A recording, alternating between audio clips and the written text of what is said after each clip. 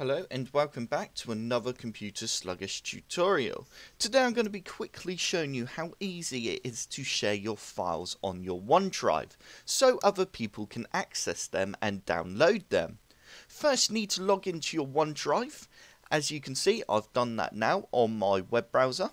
Once you're on your web browser all you need to do is select the files you would like to uh, share. For example if I select this file here I can press share then I can go get link and I can copy that link and if I go into a private browser and paste that link in there and just press close and that's the file there and I can simply just press download. As you can see I'm not logged in at all. But if you want them to be able to access the whole folder instead of having to individually go through each file, you can simply deselect the file and then click on share again and then go copy on the link.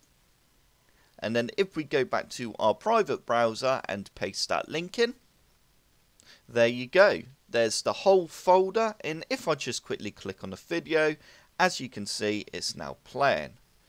I hope this tutorial helped. If it did, hit the like button below and subscribe for more computer sluggish tutorials.